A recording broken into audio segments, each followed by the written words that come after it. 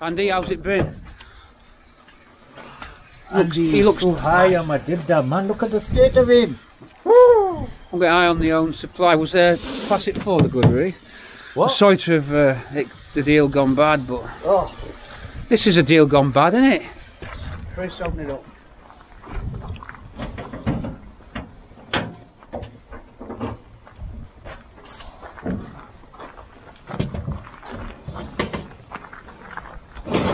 All nicely packaged for you.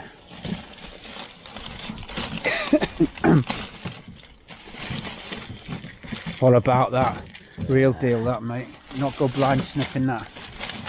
so uh, deal's good. I'm happy. You can have some toilet roll for later. Oh, thanks a lot. I weren't that frightened.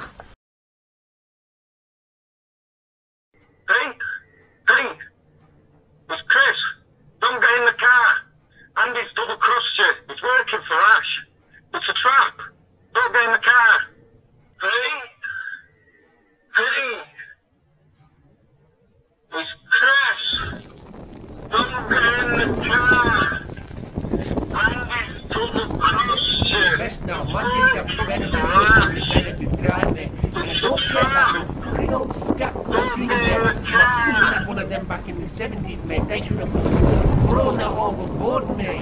I want my fucking shipment. I don't want no excuses from you of 14 this year. And don't forget what I'm talking about. No way.